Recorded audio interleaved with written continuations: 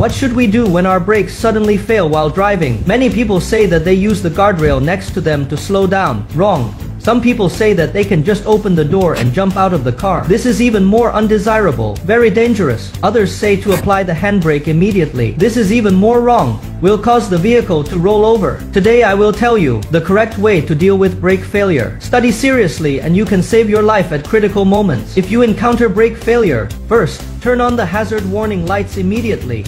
Let the cars next to you know that your car is having trouble. Then hold the steering wheel firmly with one hand. Prevent the vehicle from straying. Hold the mechanical handbrake with the other hand. Simultaneously press and hold the upper buttons. Repeatedly pulling up and putting down. Pull up and put down. Pull up and put down. This braking method can bring the vehicle to a steady stop. If your car has an electronic handbrake, just hold the electronic handbrake and don't loosen it. In this way, the computer will judge that you are performing an emergency operation. The vehicle will stop steadily. Here is a special reminder. If you buckle it once and then let it go, the vehicle will judge that you touched it accidentally and will not take any action. Have you learned it? Isn't it very practical? Follow me and make a friend who understands cars.